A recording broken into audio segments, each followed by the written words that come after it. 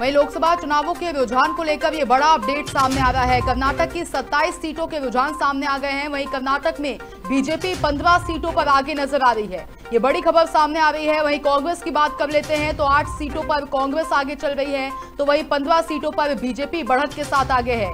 वहीं एमपी की छिंदवाड़ा सीट की बात कर ले तो कांग्रेस के नकुल नाथ इस वक्त पीछे चल रहे हैं। पाँच हज़ार वोटों से नकुलनाथ इस वक्त पीछे हैं। बता दें कि छिंदवाड़ा हमेशा से कांग्रेस का गढ़ रही है। और उसके बाद आज ये देखने को मिल रहा है कि नकुलनाथ ही यहाँ से पीछे हो गए हैं। वहीं यूपी की अमेठी सीट की बात कर ले तो केंद्रीय मंत्री स्मृति ईरानी भी पीछे चल रही हैं। बस्तर से कवासी लखमा इस वक्त आगे नज़र आ रहे हैं। वहीं मंडी से बीजेपी की कंगना रनौत इस वक्त आगे चल रही हैं। ये बड़ा अपडेट इस वक्त लोकसभा चुनाव को लेकर आपको बता रहे हैं। गांधीनगर लोकसभा सीट से अमित शाह इस वक्त आगे हैं।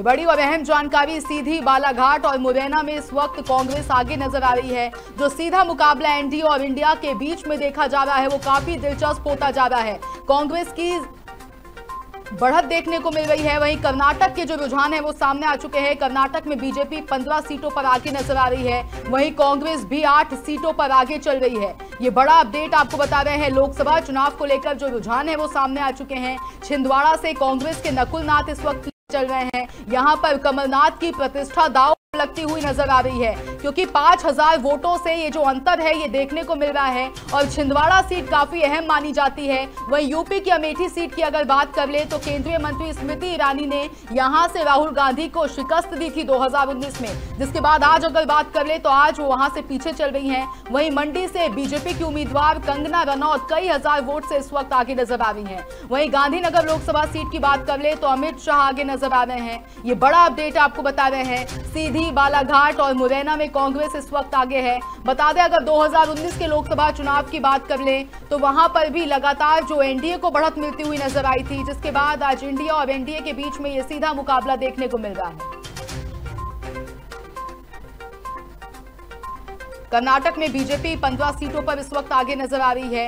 लगातार ये अपडेट आपको बता रहे हैं। एनडीए में आप देख सकते हैं कि 255 सीटों की ये बढ़त नज़र आ रही है।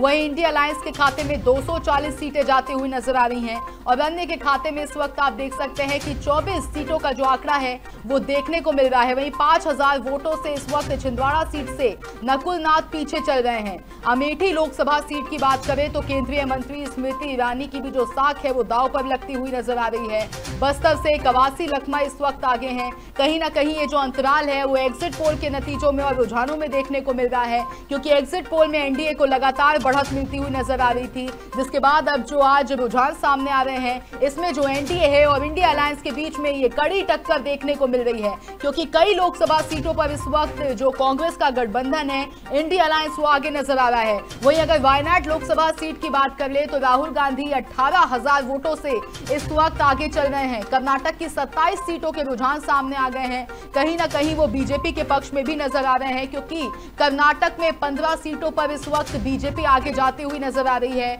वहीं आठ सीटों पर कांग्रेस को भी बढ़त मिल रही है और एनडीए के खाते में 250 सीट जाती हुई नज़र आ रही है। तो इंडिया अलायंस के खाते में 245 तो साफ़ तौर पर आप टीवी स्क्रीन पर भी देख सकते हैं कि एनडीए और इंडिया अलायंस के बीच में ये कड़ा मुकाबला देखने को मिल रहा है।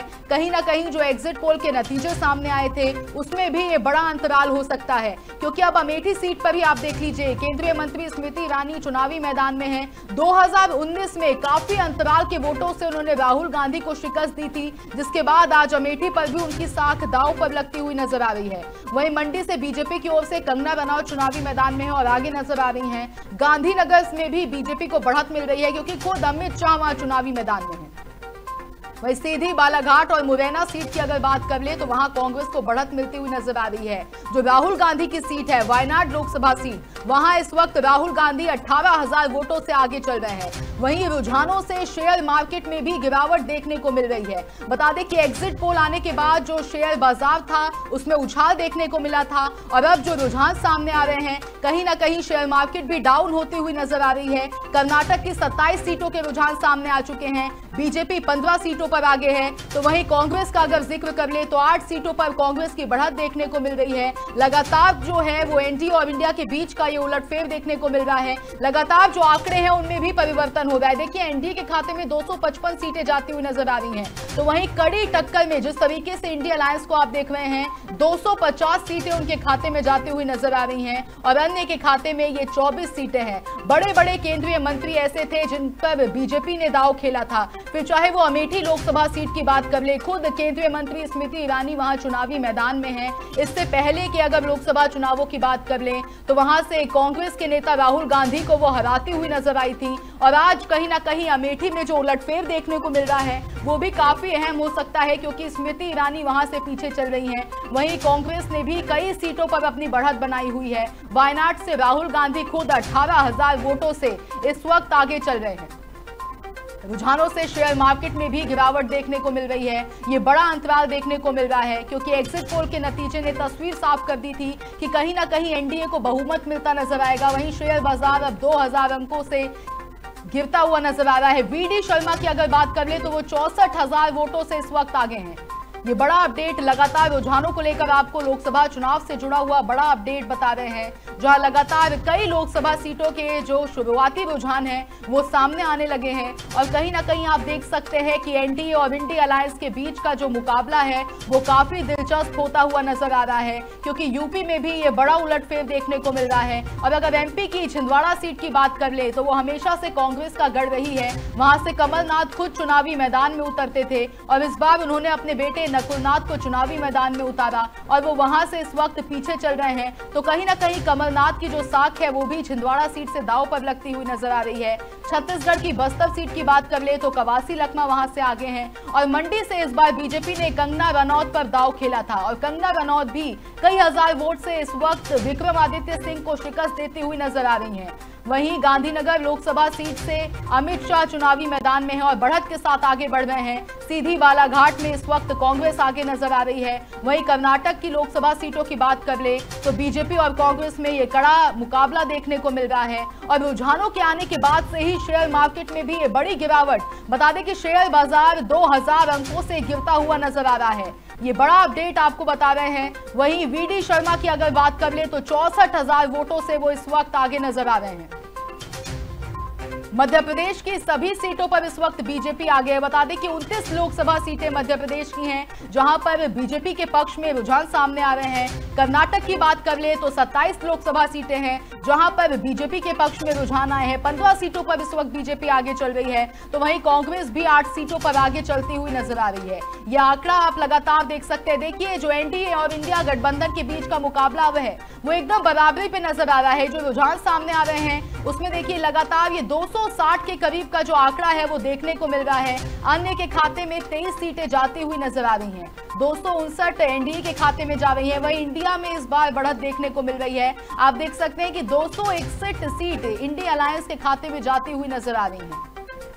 कई लोकसभा सीटों पर बीजेपी इस वक्त आगे नज़र आ रही है। तो वहीं कांग्रेस और बीजेपी के बीच में ये जो मुकाबला है, ये दिलचस्प होता जा रहा है। क्योंकि जो एग्जिट पोल के आंकड़े थे, उसके हिसाब से अगर देखें तो कहीं ना कहीं एक बड़ा अंतराल देखने को मिल रहा है। क्योंकि एग्जिट पोल में ये स्थिति साफ़ की गई थी कि एनडीए को एक बार फिर 2019 के लोकसभा चुनावों की तरह बहुमत मिलता हुआ नज़र आएगा। लेकिन जो अभी की स्थिति है, उसमें काफ़ी उलटफेर देखने को मिल रहा है। क्योंकि इंडिया अलायंस को बढ़त मिलती हुई नज़र आ रही है। लगातार जो सेंधमावी की कोशिश थी, वो बीजेपी की ओर से भी की जा रही थी और कांग्रेस की ओर से भी चुनावी मैदान में जिस तरीके से प्रत्याशियों का चयन किया गया था, उसके नतीजे आज आप देख सकते हैं कि इंडिया अलायंस को बढ़त मिलती हुई नज़र आ रही है। एक लाख नौ हज़ार वोटों से इस वक्त शंकर लालवानी आगे चल रहे हैं। ये बड़ा अपडेट आपको बता रहे हैं, लगातार कर्नाटक की सत्ताईस सीटों का रुझान सामने आ गया है। वहीं पंद्रह लोकसभा सीटों पर बीजेपी आगे है तो आठ लोकसभा सीटों पर कांग्रेस बढ़त बनाते हुए नज़र आ रही है। लगातार ये अपडेट हम आपसे साझा कर रहे हैं। लोकसभा चुनाव को लेकर जहाँ कांग्रेस आठ सीटों पर कर्नाटक की इस वक्त आगे चलती हुई नज़र आ रही है। छिंदवाड़ा लोकसभा सीट की बात कर ले तो कांग्रेस के उम्मीदवार नकुल नाथ जो कि कमलनाथ के बेटे हैं, वो पीछे चल रहे हैं। सोलह हज़ार वोटों का जो अंतराल है, वो देखने को मिल रहा है। नकुलनाथ इस वक्त सोलह हज़ार वोटों से पीछे हैं। वहीं अमेठी से जो आंकड़ा सामने आ रहा है, उसमें स्मृति ईरानी इस वक्त पीछे चल रही है। बस्तर से कवासी लखमा इस वक्त आगे हैं। ये लोकसभा चुनावों के रुझान जो सामने आ रहे हैं, इसने स्थिति को पलट कर रख दिया है। हिमाचल की मंडी सीट की बात कर ले तो बीजेपी की कंगना रनौत इस वक्त आगे जाती हुई नज़र आ रही हैं। गांधीनगर से अमित शाह आगे हैं। ये बड़ा अपडेट आपको बता रहे हैं। बड़े बड़े केंद्रीय मंत्रियों की किस्मत दाव पर लगती हुई नज़र आ रही है। वहीं सीधी और बालाघाट सीट पर कांग्रेस आगे है। वायनाड, जो राहुल गांधी का लोकसभा क्षेत्र है वहाँ अठारह हज़ार वोटों से राहुल गांधी ने बढ़त बनाई है और मध्य प्रदेश की उनतीस लोकसभा सीटें हैं और जो रुझान सामने आया है, वो बीजेपी के पक्ष में है। बता दें कि खजुराहो से वीडी शर्मा एक लाख वोटों से इस वक्त आगे चल रहे हैं और खजुराहो का जो आंकड़ा है, वो सबसे पहले सामने आ सकता है। वही इंदौर से शंकर लालवानी इस वक्त आगे हैं, करीब एक लाख नौ हज़ार वोटों से आगे इस वक्त शंकर लालवानी नज़र आ रहे हैं। मध्य प्रदेश में पूरी तरीके से बीजेपी को बढ़त मिलती हुई नज़र आ रही है। वही छत्तीसगढ़ की राजनांदगांव और बिलासपुर में इस वक्त कांग्रेस आगे है। बता दें कि राजनांदगांव से इस वक्त भूपेश बघेल की किस्मत दाव पर है और लगातार छत्तीसगढ़ की 11 लोकसभा सीटें हैं, जहाँ पर कांग्रेस को बढ़त मिलती हुई नज़र आ रही है। ये बड़ा अपडेट सामने आ रहा है, जहाँ एक और मध्य प्रदेश के आप आंकड़े देख रहे हैं, जहाँ पर उनतीस लोकसभा सीटों के रुझान सामने आ रहे हैं और उसमें बीजेपी के पक्ष में ये रुझान देखे जा रहे हैं। तो वहीं छत्तीसगढ़ की बात करें तो करीब ग्यारह लोकसभा सीटें हैं और कहीं ना कहीं कांग्रेस आगे बढ़त के साथ बढ़ती हुई नज़र आ रही है। जो आंकड़े हैं उसमें लगातार आप परिवर्तन देख सकते हैं। एनडीए के खाते में 270 सीटें जाती हुई नज़र आ रही हैं। इंडी अलायंस पर नज़र डाल ले तो 250 के करीब ये सीट हैं, जो इंडी अलायंस के खाते में नज़र आ रही हैं। और वहीं अन्य के खाते में 23 सीटें जाती हुई देखी जा सकती हैं। लगातार ये आंकड़ा देख रहे हैं। उत्तराखंड की बात कर ले तो बीजेपी के खाते में तीन सीटें जाती हुई नज़र आ रही है। ये आंकड़ा लगातार बदलता जा रहा है और उलटफेर जो है वो देखने को मिल रहा है, क्योंकि एनडीए और इंडिया के बीच में ये कड़ी टक्कर इस वक्त सामने आ रही है। वहीं गुजरात में स्थिति पूरी तरीके से लगभग साफ़ नज़र आ रही है। बीजेपी को बढ़त मिल गई है।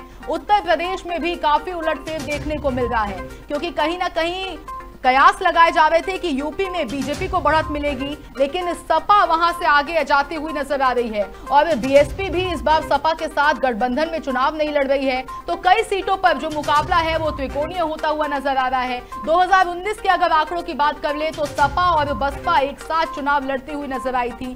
तब भी वो बीजेपी के किले को फतेह नहीं कर पाई थी। और इस बार जिस तरीके से कांग्रेस और सपा का गठबंधन जो देखने को मिल रहा है तो उत्तर प्रदेश में भी जो स्थिति है उसमें परिवर्तन देखने को मिल रहा है। लगातार उलटफेर हो रहा है क्योंकि यूपी का जो लोकसभा क्षेत्र है, वो काफ़ी अहम माना जाता है क्योंकि दिल्ली का रास्ता कहीं ना कहीं यूपी से होता हुआ जाता है, क्योंकि कुल 80 सीटें लोकसभा की सिर्फ़ यूपी से सामने आती हैं। और वहाँ पर एनडीओ और इंडिया अलायंस के बीच में ये कड़ी टक्कर देखने को मिल रही है। सीधा अब अगर छत्तीसगढ़ में बात कर ले तो 11 लोकसभा सीटें हैं, जहाँ पर अभी तीन सीटों पर कांग्रेस की बढ़त देखने को मिल रही है और 11 सीटों में से आठ पर इस वक्त बीजेपी आगे नज़र आ रही है। यह आंकड़ा आपको दिखा रहे हैं, आप हमारी टीवी स्क्रीन पर भी देख सकते हैं।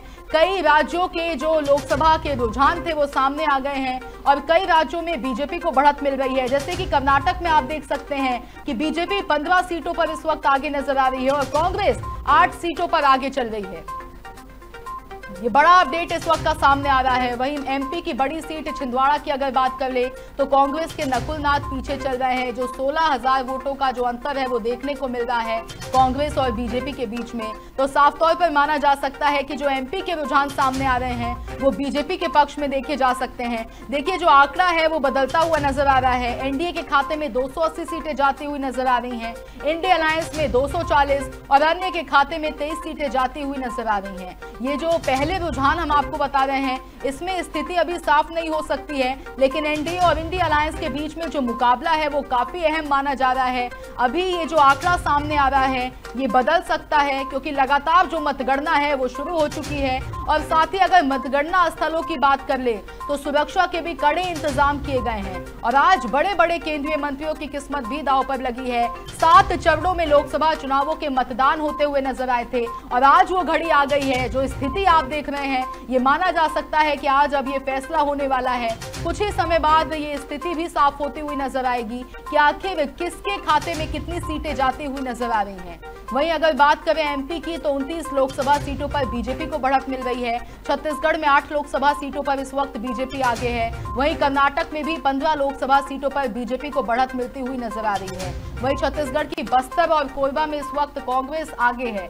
बता दें कि छत्तीसगढ़ की तीन लोकसभा सीटें ऐसी है जहाँ पर कांग्रेस को बढ़त मिल रही है। सात हज़ार वोटों से इस वक्त राजनांदगांव से भूपेश बघेल आगे नज़र आ रहे हैं। छत्तीसगढ़ में तीन सीटों पर कांग्रेस आगे है। राजनांदगांव सीट पर इस बार पूर्व मुख्यमंत्री भूपेश बघेल कांग्रेस की ओर से चुनाव लड़ रहे थे और कहीं ना कहीं उनकी साख भी दाव पर लगी थी और जो अंतराल देखा जा रहा है, वो भी वोटों कई हज़ार वोटों से आगे चल रहे हैं। रायपुर से ब्रजमोहन अग्रवाल आगे चल रहे हैं। बता दें कि जो दस हज़ार वोट का जो अंतराल है, वो देखने को मिल रहा है। लगातार कांग्रेस को भी बढ़त मिल रही है। वहीं कर्नाटक की बात कर ले तो बीजेपी पंद्रह सीटों पर आगे चल रही है। जो आंकड़ा वो है, वो आप देख सकते हैं कर्नाटक में। और झारखंड में चौदह में से दो सीटों का जो रुझान सामने आया है, वो बीजेपी के पक्ष में आता हुआ नज़र आ रहा है। लगातार जो आंकड़ा है, वो आप देख रहे हैं। देखिए, एनडीए दो सौ चौरानबे सीटों पर जाती हुई नज़र आ रही है। हिमाचल प्रदेश में देखिए, चार में से एक सीट पर इस बार रुझान सामने आया है, वहाँ मंडी से जो कंगना रनौत है, वो आगे चल रही है। हरियाणा में देखिए, इंडिया अलायंस को बढ़त मिलती हुई नज़र आ रही है। तमिलनाडु की बात कर ले तो रुझान सामने आ चुके हैं। बीजेपी को बढ़त मिल रही है। लगातार जो ये आंकड़ा है, मतदान प्रतिशत का जो आंकड़ा था, उसके हिसाब से ये माना जा रहा था कि कहीं ना कहीं जो एग्जिट पोल का आंकड़ा सामने आया है, जो मतदान प्रतिशत का आंकड़ा आया है, उसमें एनडीए को बढ़त मिल सकती है। लेकिन अभी की जो स्थिति है, जिस तरीके से मतगणना की शुरुआत के बाद जो जो बाजी है, वो पलटती हुई नज़र आ रही है। क्योंकि देखिए इंडिया के खाते में भी 224 सीटें जाती हुई नज़र आ रही हैं। अभी आंकड़े में परिवर्तन भी आप देख रहे हैं। एनडीए के खाते में दो सौ अट्ठानबे सीटें जा रही हैं तो वहीं इंडिया 221 सीट पर नज़र आ रही है और अन्य के खाते में 24 सीटें हैं। लगातार छत्तीसगढ़ की बात करें तो 11 लोकसभा सीटें हैं, जहाँ पर एक समय था जब कांग्रेस का कब्जा होता था, और इस वक्त छत्तीसगढ़ में बीजेपी की विधानसभा में सरकार है तो कहीं ना कहीं ये फ़ायदा इस बार बीजेपी को देखने को मिल रहा है, क्योंकि आठ सीटों पे जो बीजेपी है वो बढ़त के साथ देखी जा रही है। छत्तीसगढ़ में तीन सीटों पर कांग्रेस आगे है। वहीं अगर एमपी की बात कर ले तो एमपी में भी इस वक्त विधानसभा में बीजेपी की सरकार है और उसका फ़ायदा कहीं ना कहीं बीजेपी को इस बार देखने को मिल रहा है, क्योंकि उनतीस लोकसभा सीटों का जो रुझान सामने आया है, वो बीजेपी के पक्ष में आते हुए नज़र आ रहा है। रायपुर सीट की बात कर ले तो ब्रजमोहन वहाँ से दस हज़ार वोटों से इस वक्त आगे चल रहे हैं। इंदौर में नोटा को अठारह जो वोट थे वो मिलते हुए नज़र आए हैं। ये जो आंकड़ा आपको बता रहे हैं, लगातार इसमें परिवर्तन देखने को भी मिल रहा है। तो वहीं सबसे हॉट सीट वाराणसी की अगर बात कर ले तो पीएम नरेंद्र मोदी वहाँ से आगे चल रहे हैं। और छिंदवाड़ा की सीट की बात करें तो 16,000 वोटों से नकुलनाथ इस वक्त पीछे हैं। अमेठी से केंद्रीय मंत्री स्मृति ईरानी भी पीछे चल रही हैं। ये बड़ा अपडेट आपको बता रहे हैं। ये कुछ हॉट सीट्स है जहाँ के रुझान सामने आ गए हैं। मंडी से बीजेपी की कंगना रनौत इस वक्त आगे चल रही हैं। गांधीनगर से अमित शाह इस बार बढ़त के साथ आगे चल रहे हैं। वहीं अगर गुजरात की बात कर ले तो कहीं ना कहीं वहाँ स्थिति साफ़ है कि बीजेपी को बढ़त मिलती हुई नज़र आ रही है। वहीं छत्तीसगढ़ की तीन सीटों पर इस वक्त कांग्रेस आगे है। और राहुल गांधी के गढ़ वायनाड की अगर बात कर ले तो अठारह हज़ार वोटों से राहुल गांधी इस वक्त आगे चल रहे हैं। और मध्य प्रदेश की उनतीस लोकसभा सीटों पर, यानी कि सभी सीटों पर बीजेपी को बढ़त मिलती हुई नज़र आ रही है। खजुराहो से वी शर्मा एक लाख वोटों से इस वक्त आगे है। ये बड़ा अपडेट सामने आ रहा है। राजनांदगांव से कांग्रेस के भूपेश बघेल इस वक्त आगे हैं और ये वोटों में भी बड़ा अंतराल देखने को मिल रहा है।